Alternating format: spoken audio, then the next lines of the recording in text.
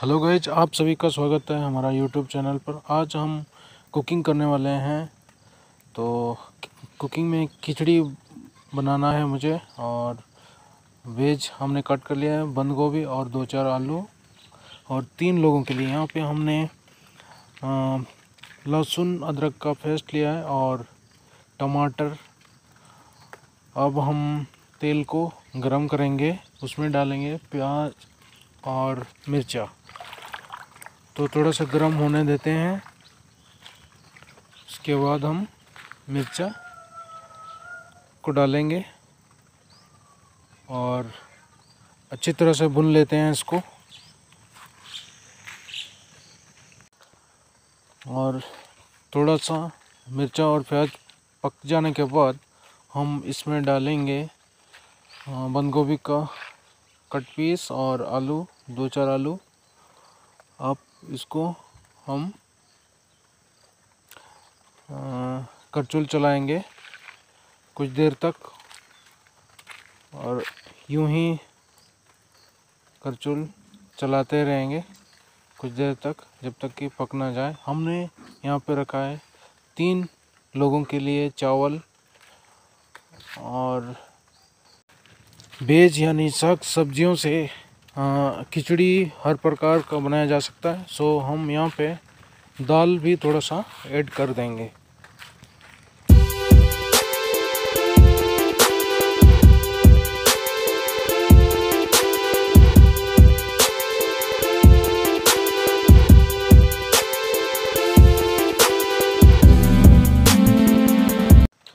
अब हम यहाँ पे मसाला ऐड करने वाले हैं, जितने भी हैं हमारे पास।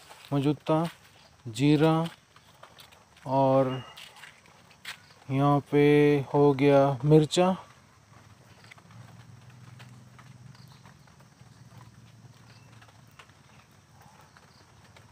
और यहाँ पे सामर का पाउडर और यहाँ पे हल्दी।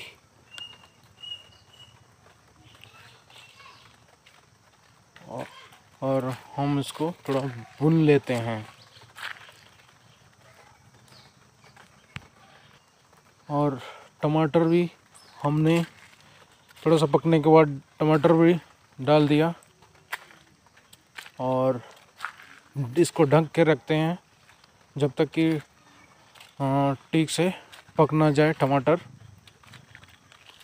और इसके बाद हम ऐड करेंगे यहाँ पे चावल।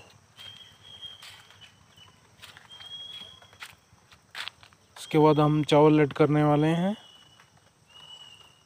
और हमने चावल ऐड कर दिया है। अब यहाँ पे हम कुछ देर तक सूखा सूखा, जब तक सूख ना जाए अच्छी तरह से, यूँ ही करचुल चलाते रहेंगे।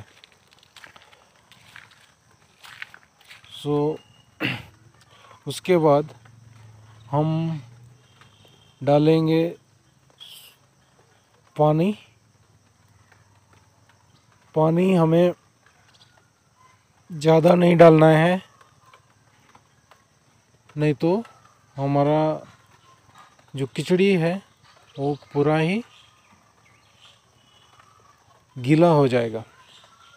यानी दाना दाना टाइप ज़्यादा भी हमें पकाना नहीं है। हम मीडियम साइज़ में पानी डालेंगे। अब वेट करेंगे। सो so, इस खिचड़ी को पकाने के लिए कम से कम हमें 45 मिनट्स मिनट्स लगे हैं। हमने यहाँ वीडियो को यहाँ पे वॉइस ओवर कर रहा हूँ। So thirty minutes thirty five minutes होने के बाद इस तरह का कलर आने लगा है। तो कुछ ही देर में हमारा खिचड़ी जो है, पूरी तरह से पक जाएगा।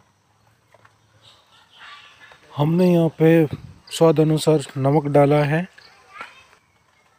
आप लोग देख सकते हैं, लगभग रेडी होने को है। ये बहुत ही साधारण बिरयानी है जो हम डेली का खाना खाते खाते अगर बोरिंग हो जाते हैं तो सिंपल प्रोसेस में हम लोग खिचड़ी बना सकते हैं, जो कि इसका स्वाद भी अलग होता है। सो, हमने यहाँ पर टेस्ट करके भी देखा, काफ़ी स्वाद था। तो आज का वीडियो यहीं पे समाप्त होता है। बहुत बहुत धन्यवाद।